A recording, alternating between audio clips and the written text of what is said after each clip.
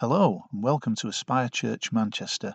The message you're about to hear was recorded live at one of our recent services. If you stick around at the end, we'll give you more information about our ministry, but for now, enjoy the preaching. But I want to start off by saying, you know, some people uh, that are Christians come to church, struggle week after week. Every week they're struggling with something new. And, and I know that we all have fresh problems, but there are some people that are just constantly in struggle all the time. And uh, I recognize that that's the case. Uh, for others, uh, and this is probably the majority of us, problems have a way of creeping into our lives. You weren't expecting it. And then all of a sudden, it just seems to creep in, and before you know it, here's another problem. Some of us experience temptations, strong ones, strong ones. Anybody have strong temptations sometimes to do wrong? Sure, sure you do. Yeah, and uh, sometimes they're uh, uh, new versions of old temptations. They just put a new look on them. They just put a new hairdo and paint the paint the mask, you know, and make it look a little different. But it's really the same thing behind. So we face these things, and I recognize that people feel that way. But longevity has taught me that you need more than just coming to church and a, a little bit of prayer. Uh, I've learned that it's when we focus on living out the Christian life that things begin to change. Sometimes it's the things that are actually the problem begin to change. Sometimes it's us that we begin to evolve and change to begin to adapt to the problems and be able to get through. But whatever the case may be, one of the reasons why I preach the way I do and pastor the church the way I do, because there's all different kinds of leaders in God's kingdom. There's some that are very academic, theological, spend a lot of time in that, which I love theology, but I don't preach a lot of that. Uh, then there's others that are just very motivational and just encourage you every service, and I totally understand that. But I have a firm belief, and this is why I am the way I am, that application of God's word is what brings transformation of our hearts. It's when we can read the Bible, apply it to our lives, and that when we leave on Sunday, we got something we can take with us something we can do. Now, whether or not we do something is up to you, but nevertheless, that's the goal of what we try to do here. So you get a little bit of all of those things I just described. Sometimes there's theology involved with it, you know. Sometimes there's just, come on, you can do it, it's going to be okay.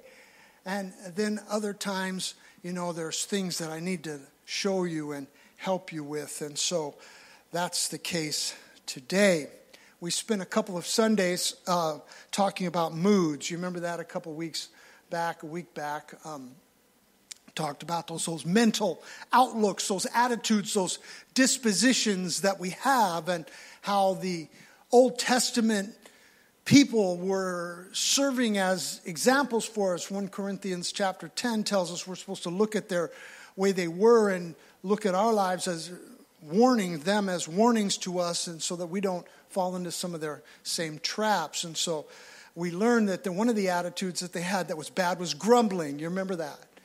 And then we ta- talked about being able to exchange grumbling with thanksgiving, right? There's a, that's the opposite of grumbling, you know. So I feel like I should continue on with that this week uh, on this subject of mental outlooks, dispositions that are gleaned from Numbers uh, other places in the Bible. We're sticking with Numbers for a while because these are attitudes that God's people often possess. And sometimes God's word speaks against. And that's why we have to talk about them and bring them out and see how we can get through them. And maybe if they apply to us, we can deal with them in our own hearts. And these attitudes kept the children of Israel in the Old Testament going around in the desert for far too long, man. They had to travel, I want you to think about this. They had to travel 300 miles, albeit on foot and with animals, but 300 miles to get to the promised land. They ended up spending 40 years doing that. So if you think about, we set off today and we had to go a little bit past London. on foot. I mean, for us that don't walk like they walk, that might seem like loads of walking, but we could do it, right? We could get there in a, in a month, you know, maybe less. And it took them 40 years. Why? Why? Because of attitudes, mindsets, mental outlooks on things that evolved and translated into actions that they did. And that's why I want to speak to you today so you do not stay in the spiritual desert, that you do not stay in a place. And some of you, maybe, I'll just say maybe, I feel differently, but I'm going to use that very neutral word maybe in the place where you've been in a wilderness for a long time, far too long, and you don't have to be there. You don't have to be there. And so, this particular subject is not the most enjoyable to speak about, but nevertheless, it's indeed prevalent and important to all of us. And so, the first, the title rather, is The Posture of the Rebellious. Now, when we talk about posture, I'm not talking about that. Say, turn to your neighbor and say, He's not talking about that. He's not talking about that. He's talking about attitude, posture on the inside. Because, see, you can look a certain way, but it's on the inside that matters most. And so, before we get into our text here, most of you know this scripture that 1 Samuel 5:23 says that rebellion is as the sin is as sinful as witchcraft and being stubborn, stubbornness is as bad as worshiping idols. Hmm. We don't think like that too much, do we? A lot of us are familiar with witchcraft. A lot of Christians in certain flavors, they talk a lot about witchcraft and a spell, a hex, a curse put upon them, and all of that is valid and true and real. But here you've got rebellion that's being set up almost equivalent to that. So I think we should address it. Yeah? So here in our text, Numbers chapter 16, um, starting at verse number one. I don't have enough space to put it up, so you're going to have to follow along. This is the English Standard Version. Any of the versions will do, but if you want to follow word for word, it's the ESV. Number 16, the first 11 verses. Now Korah, the son of Izhar, the son of Kohath, the son of Levi, and Dathan and Abiram, the sons of Eliab, and on the son, on his brother was off. Joke, just throwing a little pulpit humor there. And on or on the son of Peleth, sons of Reuben, took men, and they rose up before Moses with a number of people of Israel, 250 chiefs of the congregation. How many chiefs of the congregation? How many? Okay, was it 350? No, it was 250, right? Okay, so 250 uh, chiefs of the congregation chosen from the assembly, well known men. What kind of men were they?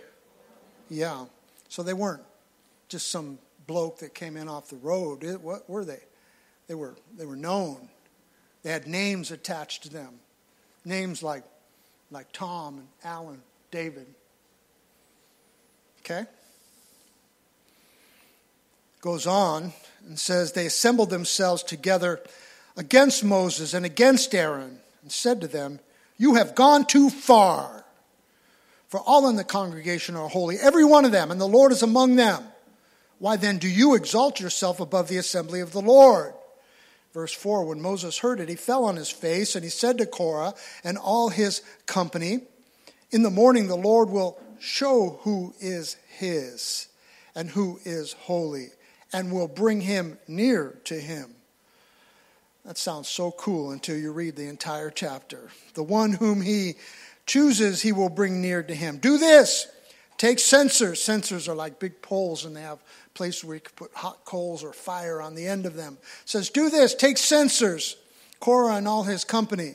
Put fire in them and put incense in them before the Lord tomorrow. And the man whom the Lord chooses shall be the Holy One. You have gone too far, sons of Levi.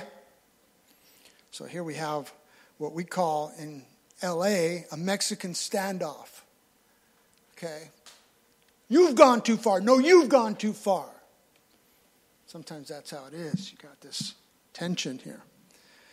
Then it goes on in verse 8 and says, And Moses said to Korah, Hear now, you sons of Levi, is it too small a thing for you that God of Israel has separated you from the congregation of Israel to bring you near to himself, to do service in the tabernacle of the Lord, and to stand before the congregation to minister them, and that he has brought you near him and all your brothers, the sons of Levi, with you?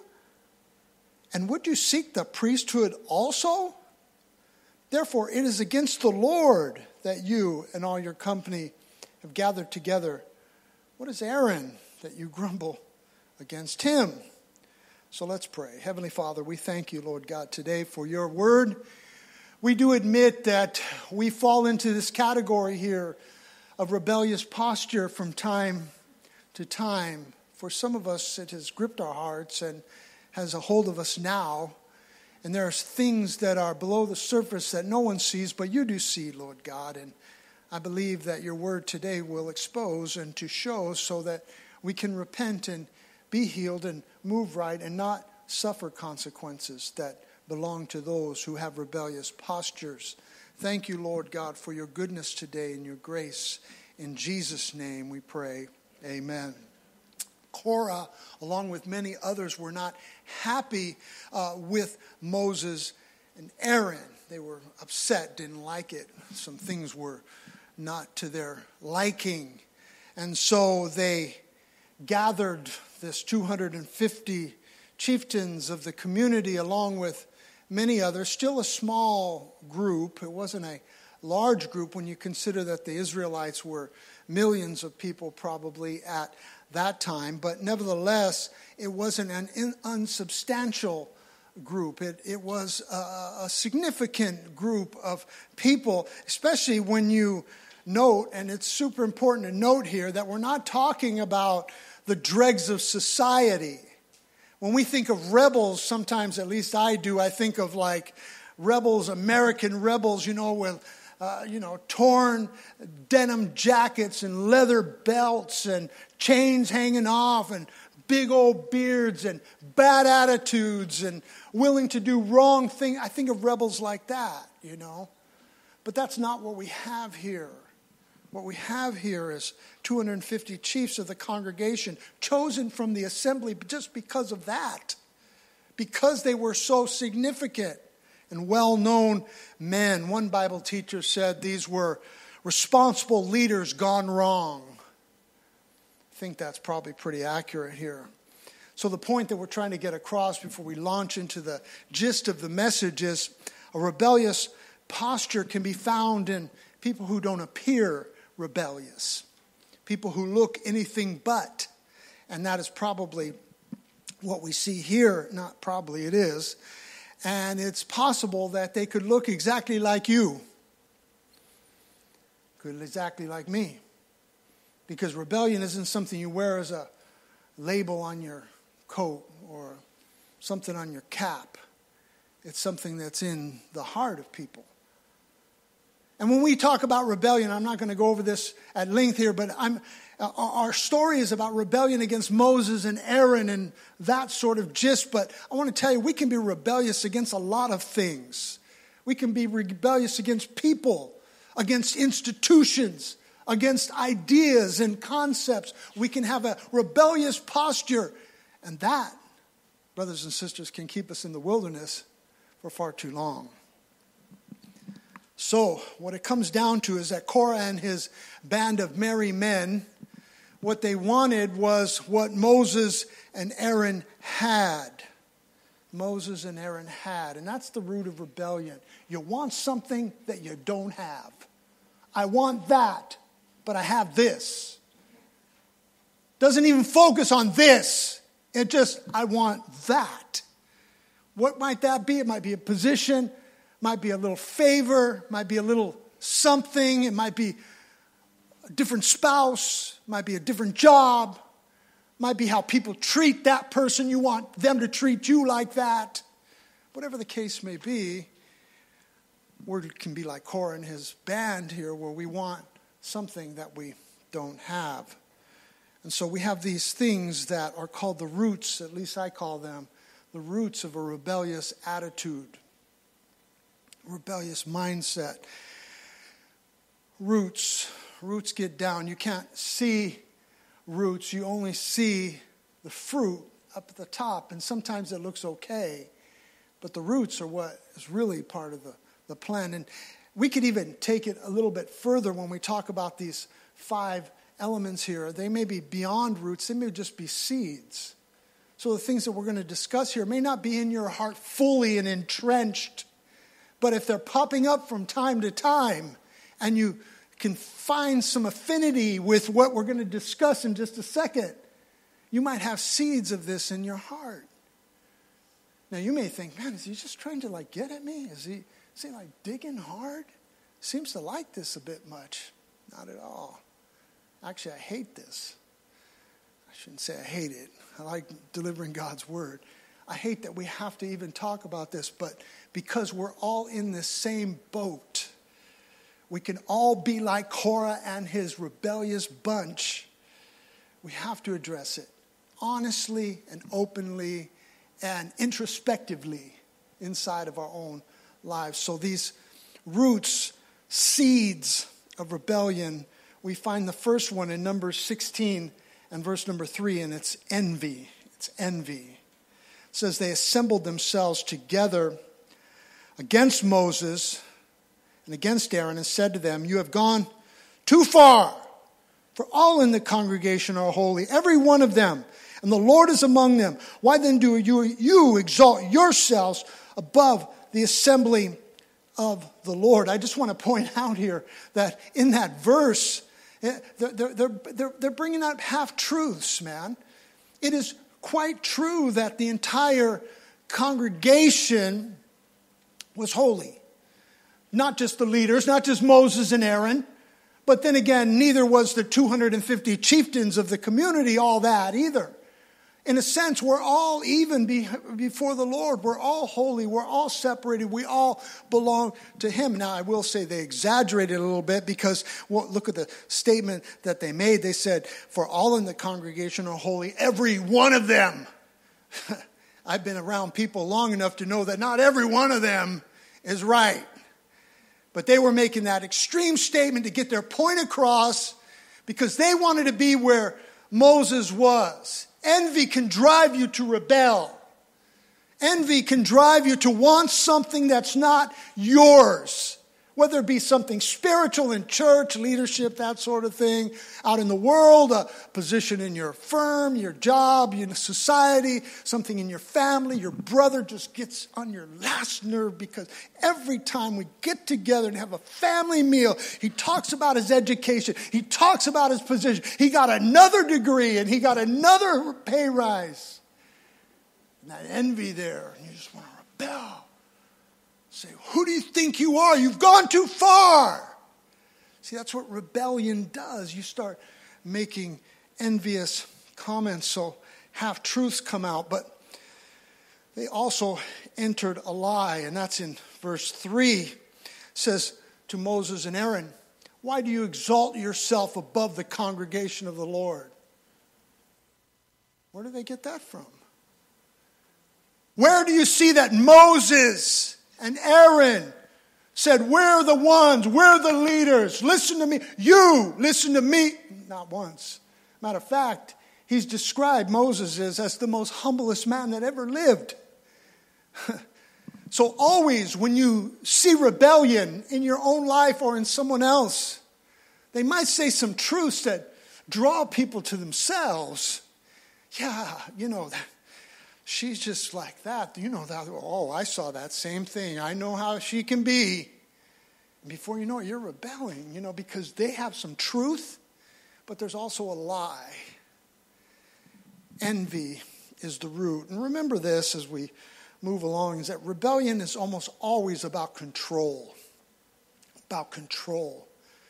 I remember many years ago uh, someone saying they wanted to ask questions publicly Ask, all, ask away. You can ask question, all the questions that you want. issued the answers, gave the answers, told people. They don't even answer the question. No, we answered the question several times over, just not to their liking, just not the answer that they wanted to hear.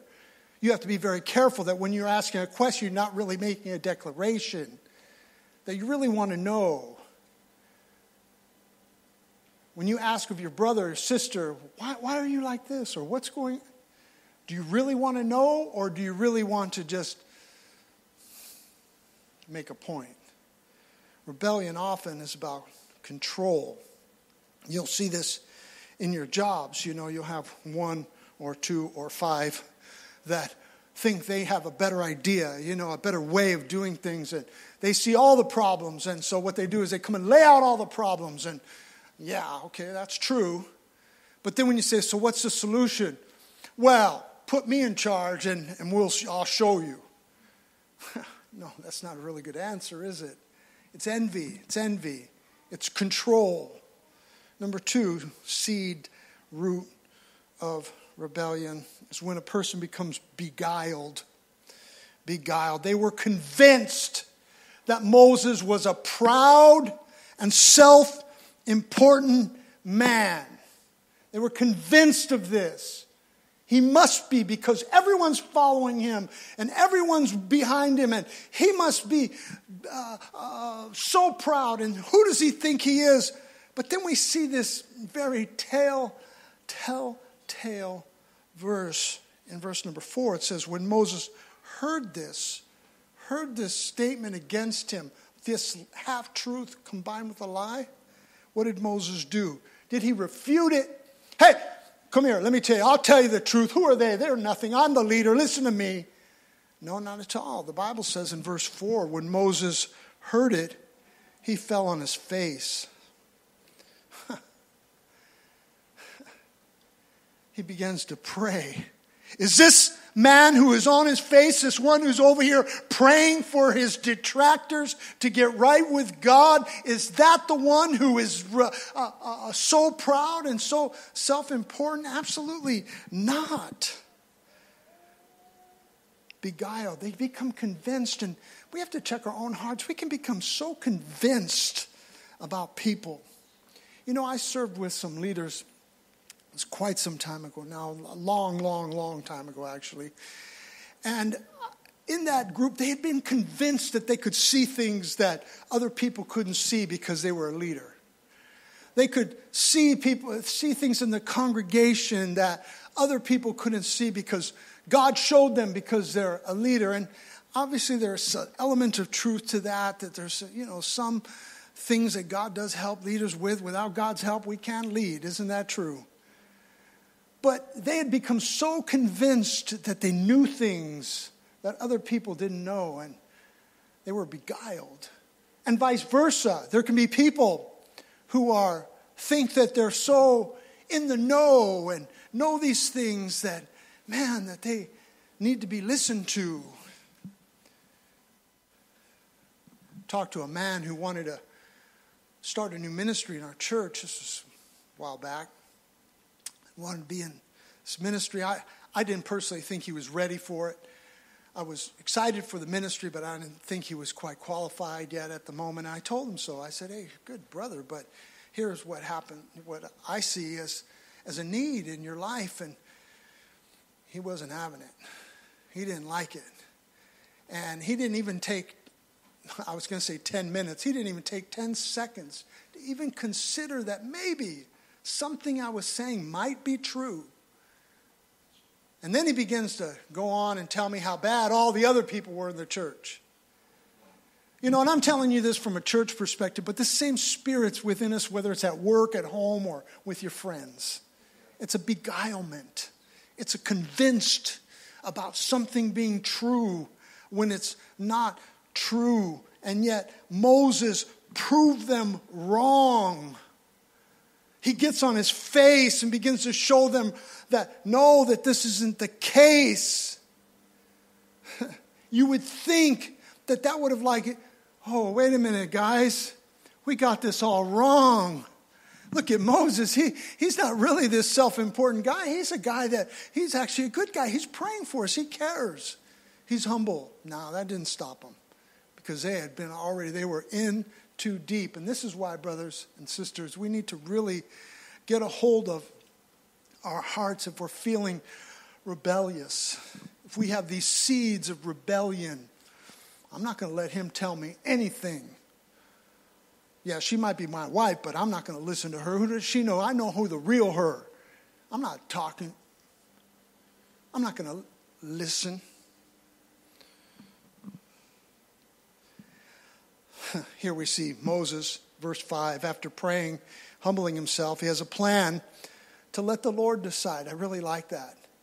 He doesn't come and say, okay, let's see who's who. I'll line up on this side. You line up on that side. Let's see who follows me. And that will be the right one. And uh, the other one is a rebel. You know, didn't do that. Said, no, let's let the Lord decide. He said to Korah and his company, verse 5, in the morning the Lord will show who is his and who is holy and will bring him near to him. Can I tell you, the Lord always shows. The Lord always exposes. The Lord will always show us right and wrong when we're trying to look for it. But I want to also issue this warning to you. He will also show you and expose your heart to you as well if you'll listen. And that's not a pretty thing. Whenever I've had negative things about my personality brought up before the Lord, man, it's rough. It's rough because you almost always know them about yourself already. And now here they are being brought out. The Lord will choose in the morning those that he's going to bring near to him. He says, Do this, take censers, Korah, and all his company. The next cause of rebellious posture is one that we studied last week, and that's this attitude of being ungrateful. Being ungrateful. So Korah and his band have come to Moses and said, You know, here's what we want. Here's what we think is wrong. Here's where we think things are. We should be in more than what we are. We're already chiefs and well known men, but we want more. And that's kind of the root of rebellion. You always want more. And the Bible says in verse 8, number 16, verse 8, and Moses said to Korah, Hear now, you sons of Levi. Is it too small a thing for you that the God of Israel has separated you from the congregation of Israel? to bring you near to himself, to do service in the tabernacle of the Lord, to stand before the congregation to minister, bring you near all your brothers, the sons of Levi, with you? And would you seek the priesthood also? God, they had such a powerful position. They had been blessed by God. They were able to serve in places that the majority of the children of Israel couldn't even think about entering. If a common person, a person who wasn't ordained by God, set foot in the places that these people set foot in, they would have to drag them out dead. And yet, they wanted more. They weren't grateful. This is the root of rebellious. I deserve a pay rise. You remember when you first got your job? Remember? You were so happy, weren't you? You're like, man, I love this job. I'm so happy. I can't believe I got, praise God. You come tell, I want to give a testimony, Pastor. I want to give a testimony. Uh, God gave me a good job. It's good. And you're there six months, right? That changed. Now it's like, ah, this job, man. Those people, I don't know. Uh, they got issues here, man, you know. This boss, Instead of being grateful, instead of having an attitude that says, Yes, I'm so thankful for what I do have, you come to church, people go, oh man, I, you know, I've been pastoring so many years and so many people have come. They left a church uh, because they rebelled at that church. They came to my church and said, this is the church, man. You are the man. You really know how to break down the scriptures, you know. You really know how to bless. You and your wife are so warm, you know. And I'm just thinking every single time, please don't say it, don't say it, don't say it, because it, this is going to blow up on you. Give it six months. Give it a year. Oh man, he's not warm. He's cold, man. He's cold as ice. He can't preach. Who does he think he is? He's trying to build. I had a guy, I'm telling all the stories now, man. Had a guy when I pioneered my first church. We were about the distance from the church that sent us to the church we were starting, about the distance from Manchester to Oldham. So it wasn't far, but it was, it was a ways. started this church. Was, when I say start church, not like modern church plants where I was talking with some church planters here in Manchester, asking them how they started. They, they took 30 people with them to start this church. I'm like, wow. He goes, yeah, we wanted 100, but we got 30. I'm thinking, like, my goodness. You know how we started our church? Tom and Gracie, Tommy, my son, Darlene, my daughter, and Naomi, my other daughter. And Tommy was the usher with a basket on his head, playing around, doing kung fu moves as an usher.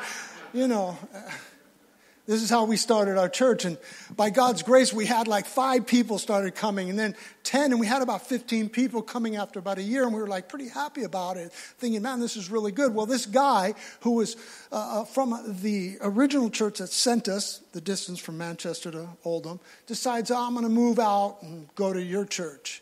He goes there two times. He wanted to be an usher because he was something in that church. I didn't really know the guy. I said, let's hang out, let's wait. He ended up telling everybody in the church, Pastor Tom just wants to build his own kingdom. His own kingdom. That's why he came out here, so he can be the head kahuna. Look at, if there's anything about me that I am, I'm a lot of things, but one thing I am is a team player. And I don't care about being fully in charge.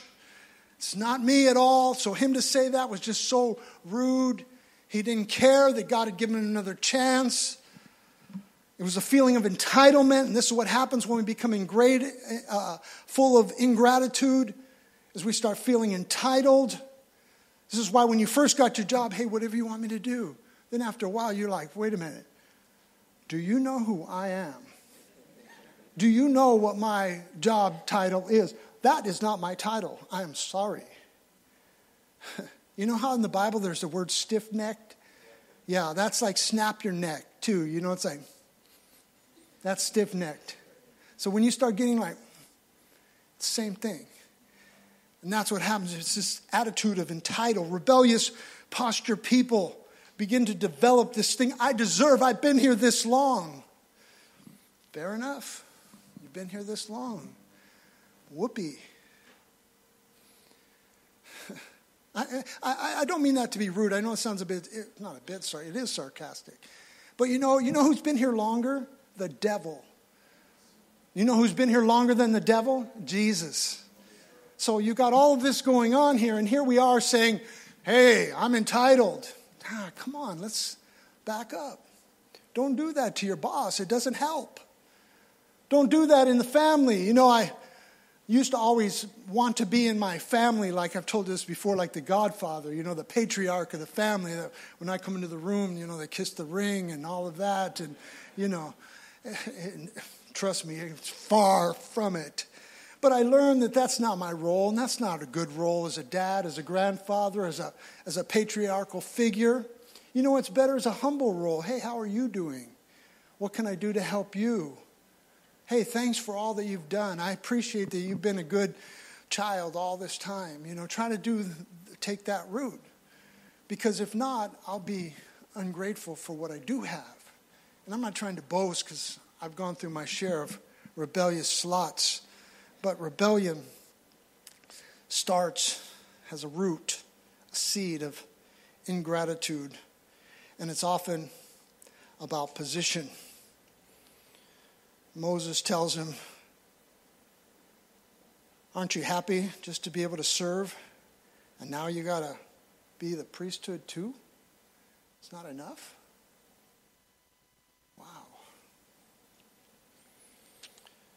Number four, one that I think we all can identify with, and that is stubbornness. Don't raise your hand. Any stubborn people in church today? Hmm. Number 16, verse 11 says, Therefore, it is against the Lord that you and all your company have gathered together, not against man. See, sometimes what we do against our boss is really against God.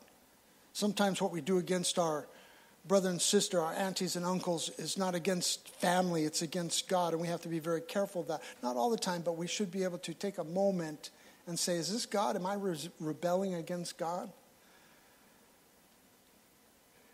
Then in verse 12, Moses sent to call Dathan and Abiram, the sons of Eliab, and they said, This is so shocking. We will not come up. Dathan and Abiram typify the mindset of many a rebel. It's just, and if you have a paper Bible, you should underline it, circle it, put it in your notes. Don't ever forget it. But when they said, We will not, some people are verbal with it, right? They'll just say, We will not. I'm not going to do that. I won't. They, they use words. Sometimes they don't use words and they sit behind a smile. But inside they're going, Not a chance. Ain't going to be this day. Not me. Nope. No can do. No way, Jose. Mm-mm, not me. Mm, I ain't moving. Ever have that attitude? Now, well, two of you, I think, are bow, bobbing your heads. The rest are like stiff neck, not moving, stubborn, not me. We will not. I'm not saying there are not occasions in which we have to stand firm against power structures and say no to those who are in authority.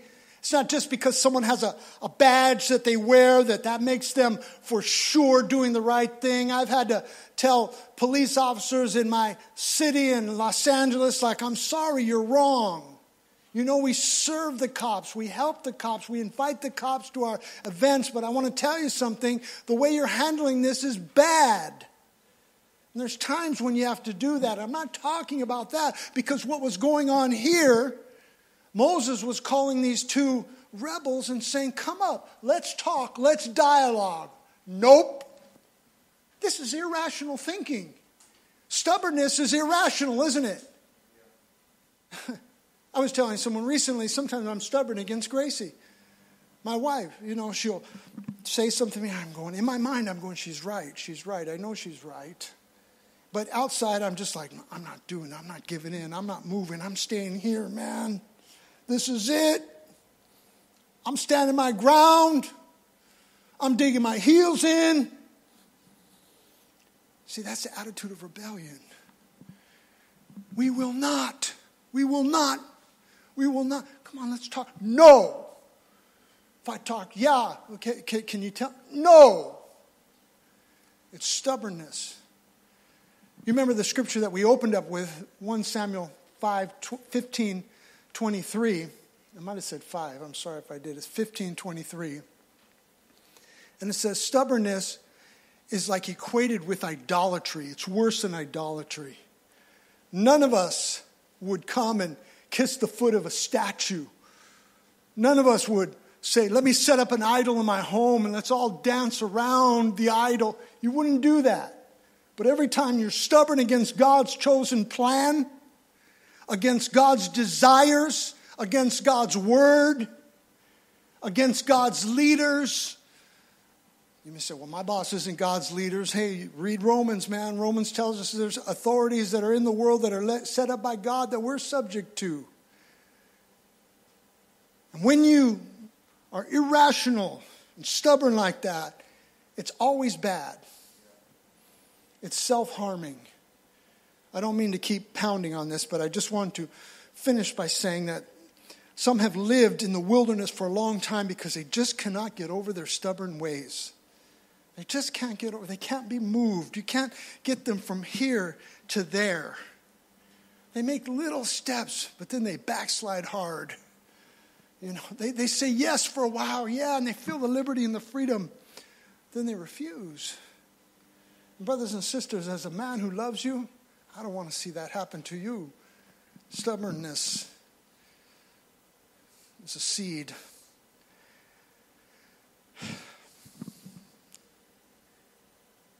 of rebellion. Number five, disappointment. Number 16, verse 13 says, Is it a small thing that you have? This is the rebels talking here. Is it a small thing that you have brought us up out of a land flowing with milk and honey to kill us in the wilderness. See, they were sad that they had missed the promised land. And they were feeling disappointed that things had not gone according to plan. And in their present circumstances, the way that they viewed it was this is death, this is the end. It wasn't the end, but sometimes we get confused by what we see, and that's where they were at. And they were feeling extremely disappointed. And he says in the same verse that you must also make yourself a prince over us. Moreover, verse 14, you have not brought us into a land flowing with milk and honey. You know, see, I, find it really, really funny that in the beginning, they're like, everyone's holy. We're all holy. You guys think you're all that because you've set yourself up. But when they didn't get what they wanted, you didn't do your job. Isn't that how we are? This is a sign of rebellion. When things go right, we want to be elevated. It's great. The church has 100 people. Yeah, yeah, yeah. Let me be. Oh, we lost 20 people. Oh, oh wait, wait, wait. I don't know if I. What are you going to do, Pastor, to help fix a church? See, you want to blame people. Parents want to do this. Kids want to do this. They back and forth. See, unmet expectation is the fuel for so many bad attitudes, man. There are many times when I look back at my life, I'm sharing something with you. You can call it confession, you can call it whatever you want, but I'm sharing to identify with you. When I look back at my life, when I've acted out, when I've not been the, the godly man that I know that I'm capable of and is supposed to be, oftentimes it's because I didn't feel like I was blessed. My expectation was unmet. I expected this, it didn't happen, and I said, ah.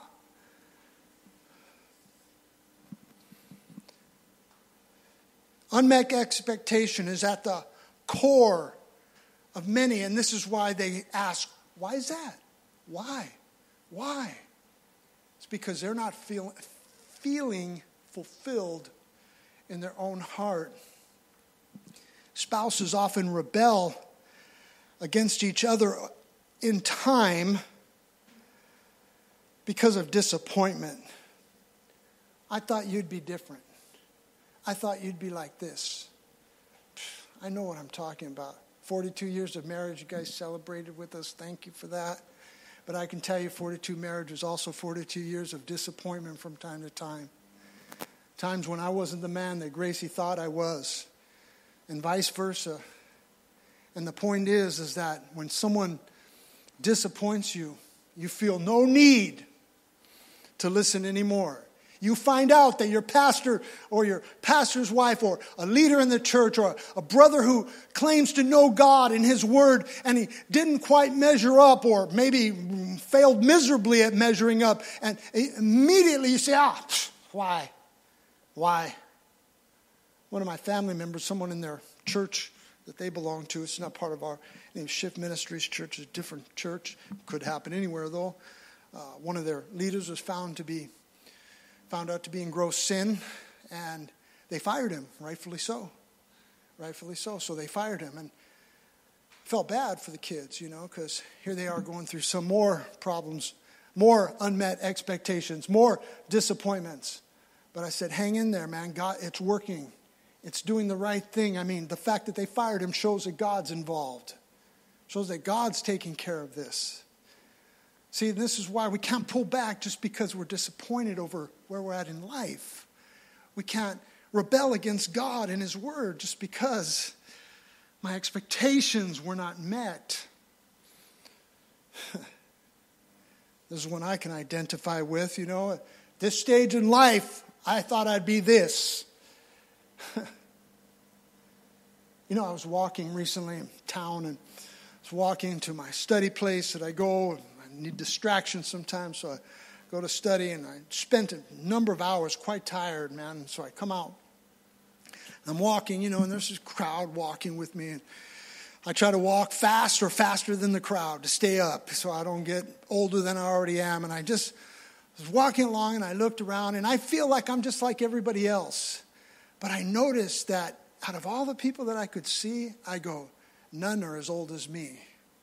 I'm the oldest guy in this city center crowd. Disappointing, man. Discouraging. My body on the inside feels a certain way, but the reality is different. Sometimes in life, you expect things to be at a certain place, but the reality is different. It's not what you expected. Disappointment, be careful because you can develop a rebellious posture. Can you say amen? We're going to finish. Thank you for being so engaging this morning. I really appreciate it. The last thought, and I know you know this, Brother Shola, as he picked up the offering today, thank you, brother. Good job. Good job. Very well done. Thank you. Don't forget your phone next time. It's good. Rebellion has consequences. Consequences, doesn't it? Here in verse 15, I love this verse. And Moses was very angry. It's okay to be angry. Sometimes when your kids rebel against you, it's okay to be angry. It's not okay to act out on the anger, but it's okay to be angry. Moses was very angry, and he said to the Lord, and that's good. It was not that he was very angry and said to Korah, was very angry, and he said to these 250 chieftains, Hey, I'm your pastor. He didn't do that. He said to the Lord, Do not respect their offering. I have not taken one donkey from them. That's Old Testament speak right there. I have not taken one donkey from them, and I have not harmed one of them. That's always true, though, bro. I want to say, Moses, hey, look at man, I tell you, man of experience, Moses, uh, it's always true. You never hurt people, they just claim you hurt them. They just say you did this. It's really their bad attitude that it was the problem, but they're blaming you, Moses, and I, I know how you feel, bro.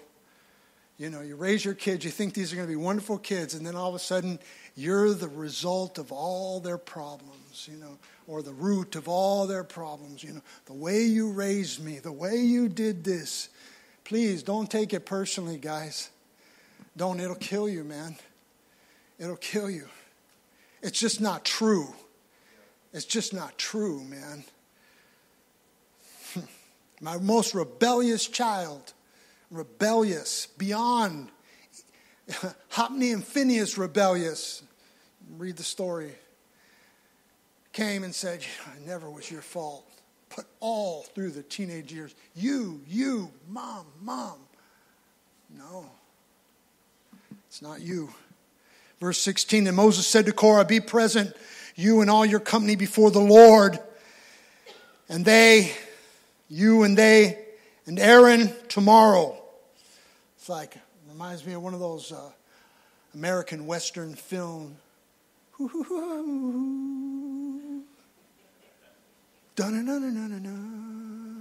Come out at high noon, you know, with the big old black hat. And come out and got the gun on their side.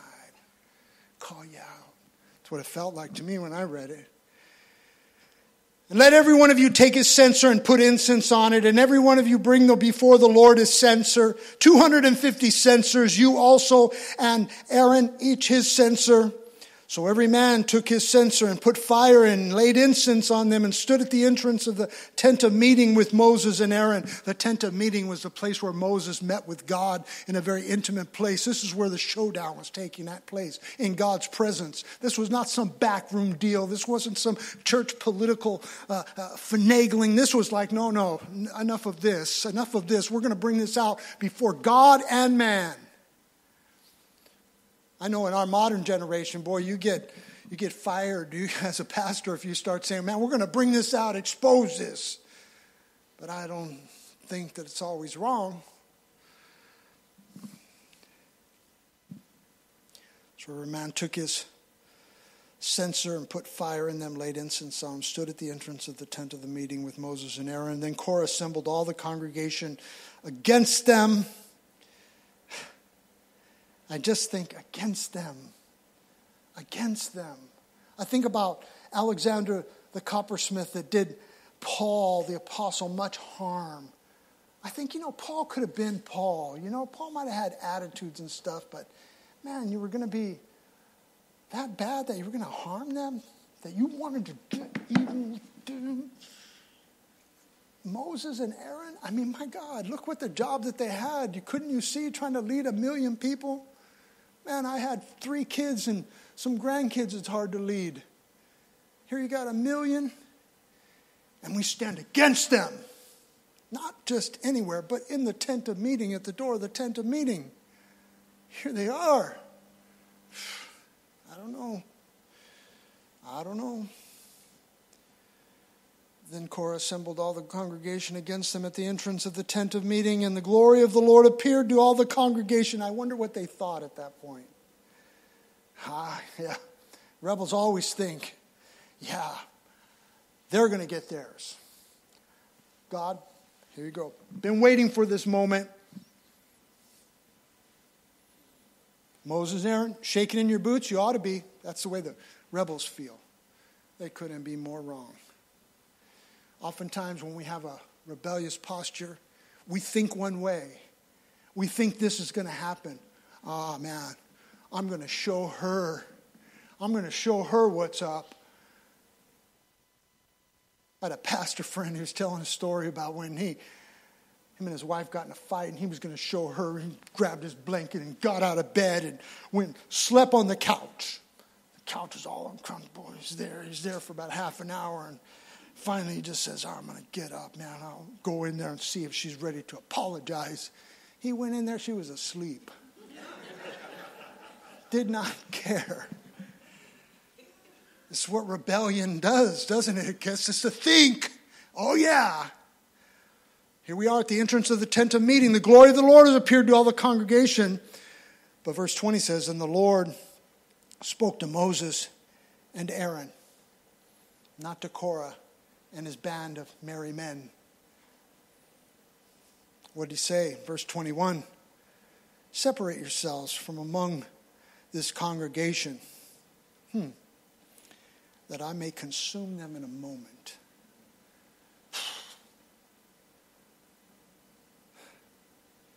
There are consequences for rebellious attitudes. Now, do I think that you and I and us are so rebellious that God's going to consume us and we all. I'm not saying that. But the Bible says, 1 Corinthians chapter 10, that we're to learn from these stories. And what do I learn from these stories? That there are consequences for those who take up rebellion against instituted authority, whether it be in the church, in the home, in the world concepts, the idea that, ah, we're not going to do church anymore. Church is an antiquated thing. No, that's an institution set up by God. Oh, I'm not going to give offering anymore. That's antiquated. That's just for, uh, uh, as our brother said, for preachers who want preachers who want to get rich. We can't stop. There are preachers who just want to get rich, but we don't stop that because that's God's institution. We don't rebel against these things because there's judgment that comes, consequences that come.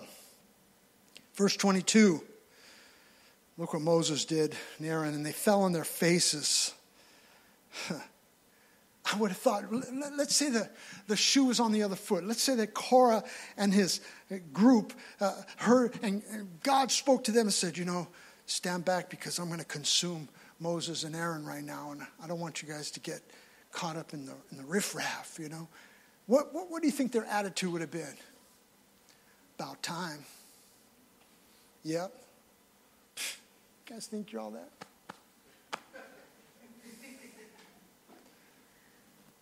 Would have been their attitude. What was Moses and Aaron's attitude? They fell on their faces, said, Oh God, the God of the spirits of all flesh, shall one man sin and will you be angry with all the congregation?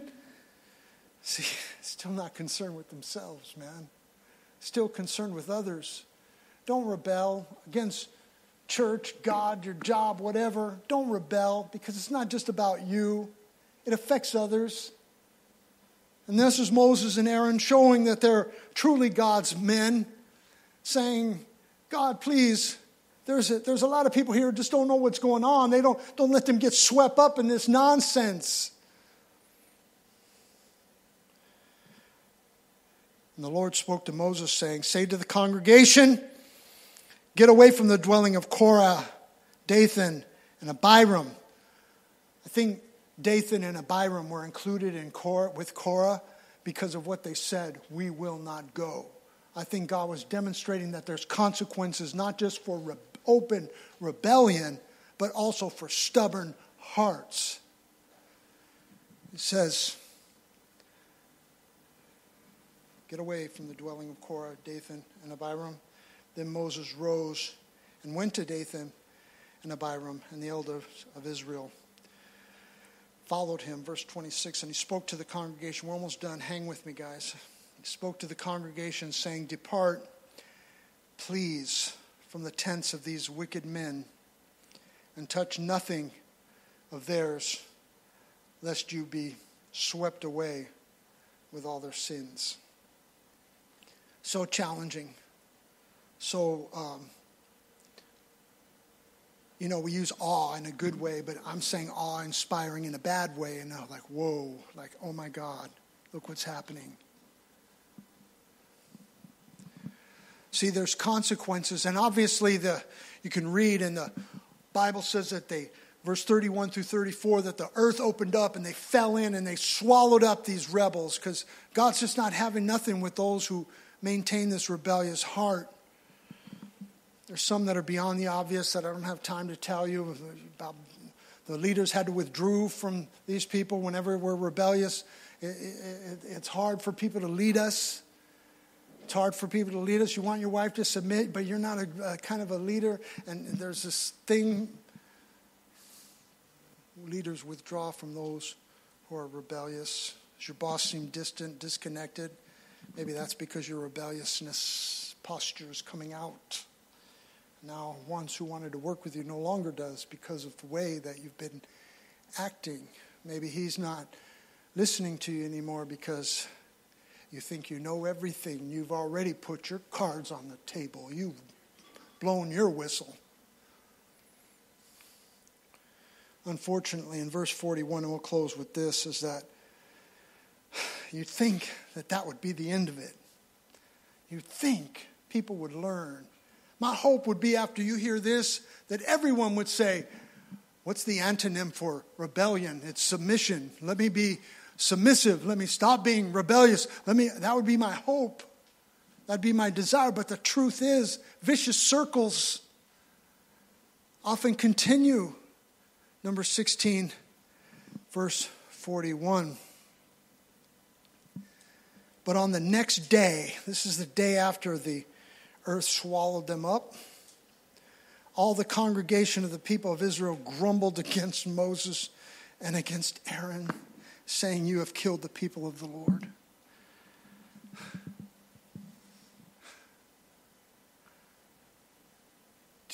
you, you, you, know, there's uh, people are fickle. We know that, right? We're fickle people. But man, when you read that, that is like the, the the, the fickle trophy of this eternity. You just saw these people swallowed up. You just saw Moses and Aaron standing, praying, believing. You just saw God exonerating these two men. You just saw God condemning the others. And here you are going, oh, yeah, Moses and Aaron, you're the problem. I thought, what is that? Why is people like that? What, what would cause this vicious circle to continue? And I want to tell you, the only thing that I could come up with is that these people did not really know the Lord very deeply. They did not really know God. Sometimes our superficial Christianity gets us in trouble and it catches up with us after a while.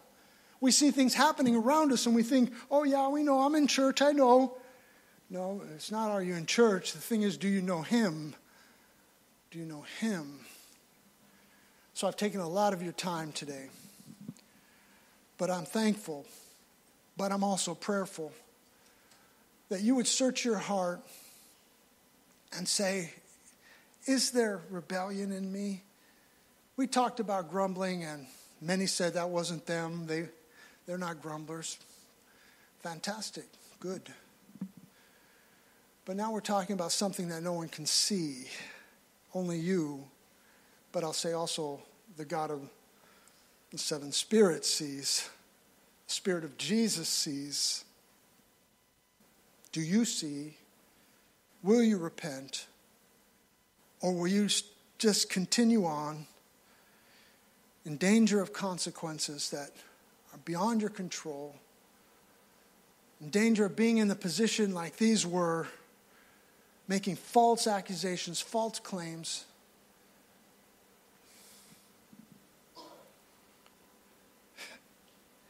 They blamed Moses for getting it wrong. And then at the end, these ones that were left that had saw it all, it couldn't have been clearer for them.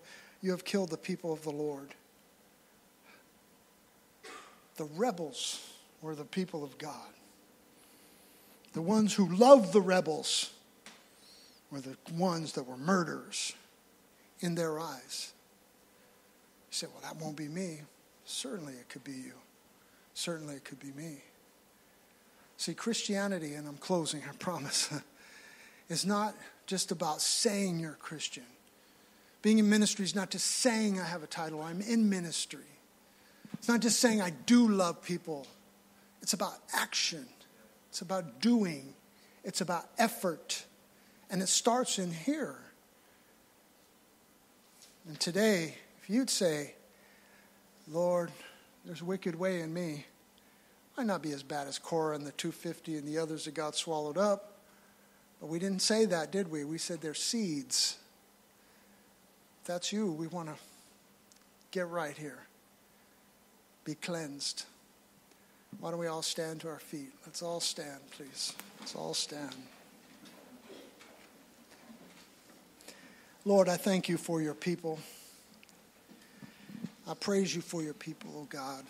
Thank you for each and every one that you've brought into this church, those that are part of this church and just attending to be a place that they can worship you for a season, Lord God. Let, let, let blessing fall upon them. For those that are the core of the church, trying to see advancement and see souls saved and ministries raised up that benefit the world, Lord God, I pray, I pray that they would understand this issue posture, rebellion.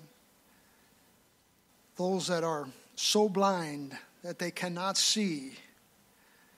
I do pray, God, that they would open their eyes, but even if they don't open their eyes, let me love them like you love them. Help me to treat them the way that you treat them, God. I pray blessing upon families, parents who are struggling, going through things spouses who don't know where to go next. Bless them and help them. Father, we thank you for all that you're doing today. In Jesus' name. Today, I just want to open the altar. Normally, we make an altar call for people to come to Christ. And if you need to come to Christ, obviously, we'll pray with you and need to lead you to Jesus. But I don't want to delay. I want to talk to my brothers and sisters and say, hey, is there any kind of rebellion in you? I don't think Korah woke up one day and said, you know what? Forget Moses and Aaron. Hate them.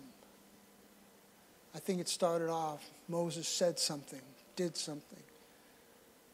Korah and the 250, they didn't get the little blessing they thought that was coming. Oh, it's coming, it's coming. Yeah, Moses and Aaron, yeah, yeah. Then when that didn't come, ah, I didn't get it. The job didn't come through, man. The wife didn't act like it. The husband wasn't there for me. My, my kids, I showed them love for years. And look how can have these attitudes, little roots of rebellion. I don't want to repeat all that I preach, but if anything has tugged at your heart and you need to get some things, I always say right, but I mean open before God, honest before God. You need to just want to make a, not so much a public declaration, but an open declaration of what's going on in here. If that's you, please come on up to the front. You can kneel down if you want. You can pray. If you want to stand, if you're not a kneeler, that's okay too. But whichever way you come, come with an attitude of humility, please. Humility, humility, humility humility. For those that want to kneel, there's some little more room over here if you want to kneel. If you want to stand, that's fine. Hallelujah. Hallelujah. Lord, we admit that sometimes the authority that's over us, the, the plan that you've put in place, the circumstances that you've ordained, that is your plan for the moment are not appealing to us, Lord. And we admit that we fight against that. Today, help us not to be those people. Help us to be people like Moses and Aaron of humility and honor, caring about the congregation more than we care about our own hearts and lives. Father, I am praying for husbands and wives. So hard, so hard sometimes. But we know you have a, a plan, a rank, some issues of the heart that need to be in place. We don't want them to be in place. We want to have freedom, God. We admit it. But God, have you constrained us, as you have constricted our path, help us to walk in that, to walk in that, Lord God. Thank you, God, for your goodness, your grace. Bless these that have come to the front today. Bless those that are in their seat, those that are watching online. Help them all.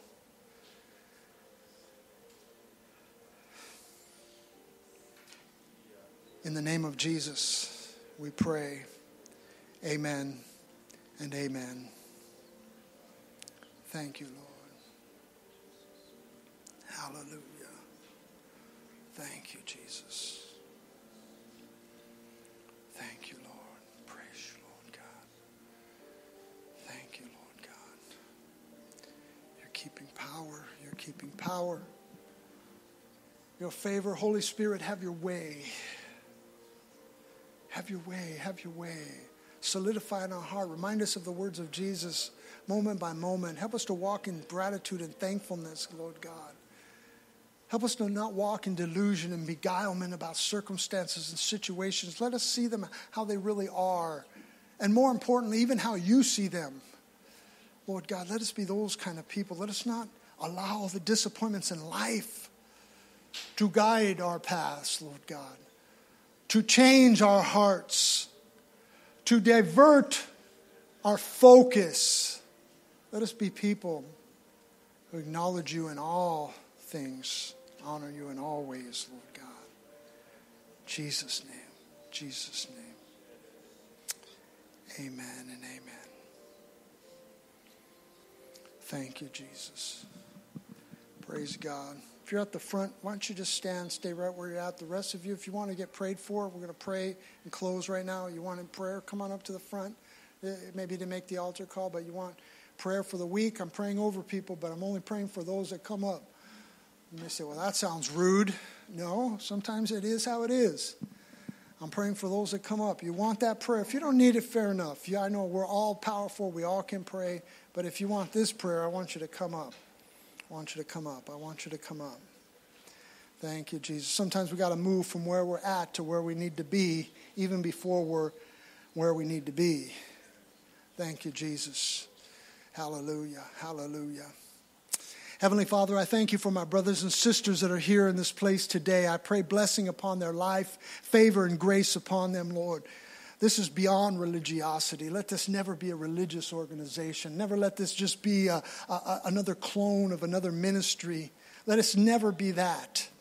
Let us always be the people that you want us to be. Let Aspire be who you want uh, Aspire to be we admit we're not better than anyone else. We know that we're not so unique and that there's none like us. We admit that freely, but nevertheless, Lord God, we do believe that your hand is upon us as individuals and we need to respond accordingly. And Lord, I thank you for my brothers and sisters here today, the ones that are honest about the things they're wrestling with in their life. We admit that. We repent daily, God, of things that are wrong. We die to ourselves daily, as Paul the Apostle did. We desire daily, Lord God, your word that is our bread and is our meat. Uh, we live according to your word, Lord. Let that be first and foremost. Let us not just read it, but let us live it. God, I pray blessing upon us as we leave this place. I pray covering, hedge, and protection upon your people today. I pray for families, uh, uh, children. Bless the children, God, as they go to school, as they face opposition there, especially the teenagers, as they're faced with all kinds of sexual temptation, moral temptation, the anti God sentiment that is in the places of education today. We come against that, God. We stand firm upon you because you are the king. You rule over that. And we thank you, God, for your goodness today. Protect your people. I pray marriages today that as they leave this place that they would have a great day. They'd have a great day. If they have to go to work, Lord God, let them go to work with a kiss on their lips. Let them go to work, God, with blessing in their heart. Let them feel it. Feel it, Lord God. Thank you for your goodness today. Bless the refreshments as we're about to leave, God. In Jesus' name we pray. Amen and amen. Give the Lord a big hand clap today.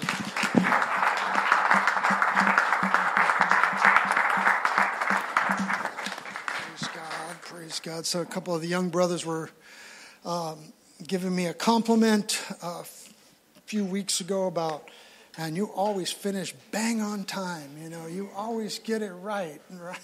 Well, today I failed them. I went a little over, but sometimes we need a little bit more. Can you say amen? amen? Praise God. Thank you for listening. Love on one another. God bless you and have a blessed week and hope. To- Thank you for joining us today at Aspire Church. If the message today has blessed you or there's something we can help you with, we'd love to hear from you. Send us an email to info at We meet in different locations throughout the week, and if you'd like to join us in person, we'd love to have you visit us.